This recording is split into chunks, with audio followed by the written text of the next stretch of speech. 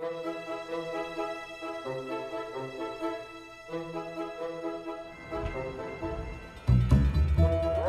to Comic Con.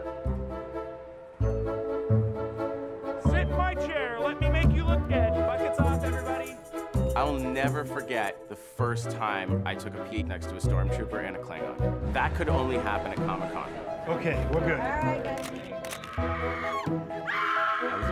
hotel room window and I saw three Ninja Turtles really impatiently checking their watches. Where? Excuse me. You have to check that in. In the mind of every comic book fiend, Comic Con is just the answer to all your prayers. It's like heaven, in as much as like they always tell you, when you go to heaven, everything you've ever lost is going to come back to you.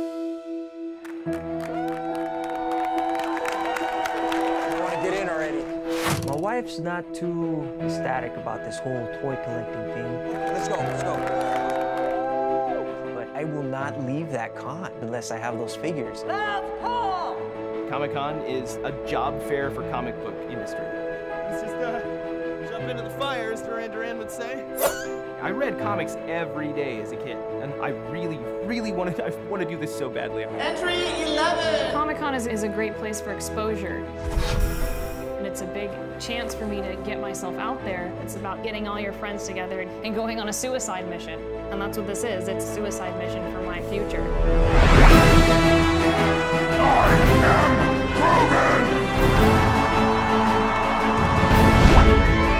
I'm practically vibrating right now. I feel like I'm the Flash and I can just move through solid objects. I can go back in time and tell like 11 year old me, like, one day not only do you go to Comic Con, you go to Comic Con every year, so much so that like you get greeted by Stan Lee when you show up. You know, and the 11 year old me would be like, how did we get so fat?